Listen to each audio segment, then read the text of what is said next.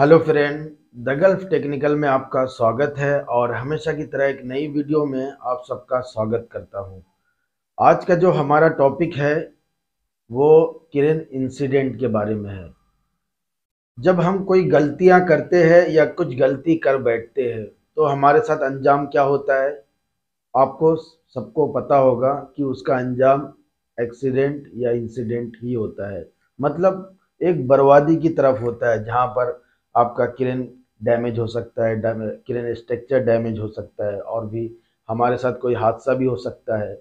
या दूसरी बात है, या कुछ प्रॉपर्टी डैमेज हो सकता है, बहुत सारे कारण हो सकते हैं। तो ये तो एक नुकसान नुकसान की बात है। लेकिन कहीं हम जानते हैं कि ये नुकसान क्यों होता है? अगर हम वो नुकसान को जान ले शायद तो हमसे ये गलती नहीं होगी। तो मैं इस वीडियो के अंदर आपको एक वीडियो दिखाऊँगा। आप इसको गौर से देखें इसको बार बार देखें और वीडियो को रोक कर देखें आपको इसके अंदर इसका जवाब ज़रूर मिल जाएगा। जो इस वीडियो को देखने के बाद मुझे जो जवाब मिला, वो ये है, सबसे पहला कारण, सबसे पहले कारण। या तो इस वीडियो को देखने के बाद आपको कारण मैं, आपको मैं बता रहा हूँ कि सीलिंग का इंस्पेक्शन नहीं हुआ। पहला फ़र्स्ट। उसके बाद जो सेकंड है, उसमें चोकर हिच बांधा गया। ये एक पचास टन का जो किरण है, जैसा आप वीडियो में देख रहे हैं, पचास टन का किरण है। ये सनी किरण होगा शायद, क्योंकि इसी तरीके से इसका कलर है। और उसके बाद ये जो रेल पर जो ओवरहेड क्रेन होता है, जैसे आप देखे होंगे वर्कशॉप में, बहुत सारे वर्कशॉप में इस तरीके से रेल पर चलने वाली जो गेंट्री क्रेन भी कहते हैं, इसको ओवरहेड क्रेन भी कहते हैं। बहुत सारे अलग अलग तरीके का स्क्रीन का नाम भी होता है। एक्चुअली इसमें मैं आपको एक एक्सीडेंट जो दिखा रहा हूँ इस वीडियो के अंदर, आप देख रहे हैं, बस ये 20 सेकंड का है, ज़्यादा नहीं। आप इसको बहुत कुछ इसके अंदर सीख सकते हैं। कभी भी कोई भी साइट पर एक्सीडेंट होता है तो आप उस जगह पर जाइए। आप उसको ये जानो कि इसके अंदर क्या इंसिडेंट हुआ, क्या हादसा हुआ।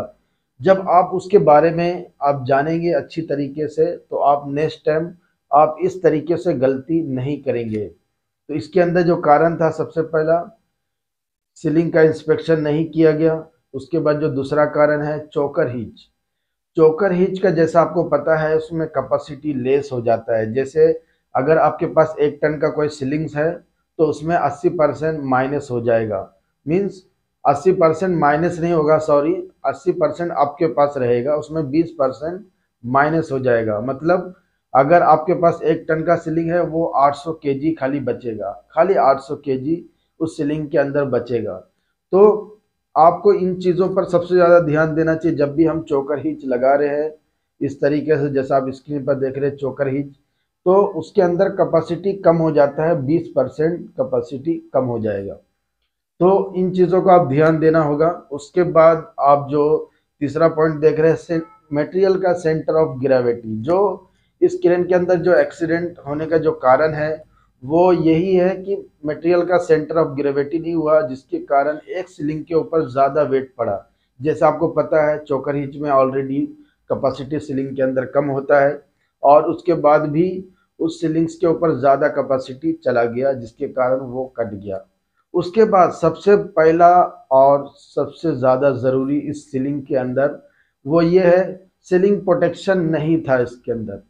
सीलिंग प्रोटेक्शन का ज़रूर इस्तेमाल करें, ये तो सारा गलती तो था ही, लेकिन उसके साथ साथ सीलिंग प्रोटेक्शन भी इसके अंदर मिसिंग है। तो इन सब कारणों के कारण हमारा जो इंसिडेंट हो जाता है, और ये बस एक लर्निंग है, ये वीडियो पर्पस यही होता है कि हमें एक लर्निंग मिले। तभी, कभी भी आप कोई साइट पर काम कर रहे हैं तो आप इस तरीके से गलती बिल्कुल भी ना करें। या आप हो या मैं हूँ। तो आप इन चीज़ों से सीखें और आप लोग सेफ़ पर साइट पर भी सेफ़ रहे और फैमिली के साथ हँसी खुशी ज़िंदगी गुजारे। तो फिर मिलते हैं नेक्स्ट वीडियो में और नेक्स्ट टॉपिक पर। जय हिंद।